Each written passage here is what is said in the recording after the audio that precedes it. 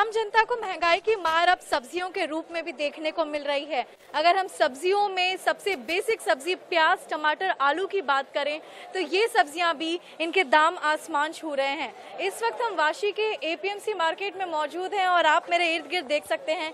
ये थोक बाज़ार है और यहाँ पर आ, सवेरे हम आए हैं और आपको यहाँ के दृश्य दिखाना चाहेंगे। यहाँ पर सीधे आप ये दृश्य देख सकते हैं और अब हम पता करने की कोशिश करेंगे कि क्या लगातार एक बीतने के बाद भी प्याज, आलू, इन सब के दाम कैसे हैं?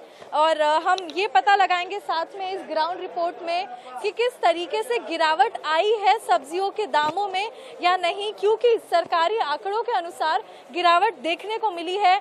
तो हम यहाँ पे जमीनी हकीकत आपको बताने के लिए आए हैं। सबसे पहले सर, आप ये बताइए, आलू की क्या कीमत चल रहे हैं इस वक्त? आलू के क्या कीमत सत्ताईस, अट्ठाईस, तीस, बत्तीस।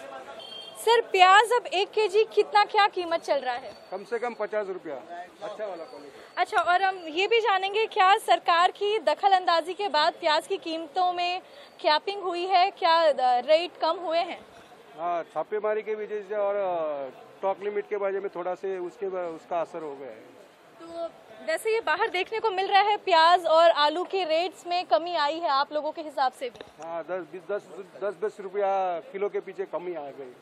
तो so, जैसा कि हम आपको इस ग्राउंड रिपोर्ट में समझाने की कोशिश कर रहे थे और हमारे इसी रिपोर्ट में ये आपको हमने ये साझा कर दिया कि किस तरीके से अब प्याज के दामों में गिरावट देखने को मिली है और इनका ये मानना है कि सरकार की दखल अंदाजी के बाद क्योंकि सरकार ने ये दावे किए थे कि उनकी दखल के बाद अब यहाँ पर प्याज की कीमत कम हो गई है और एपीएमसी मार्केट आके हमें यह पता चला कि वाकई ही सरकार अपने वादों पर खरी उतरी है।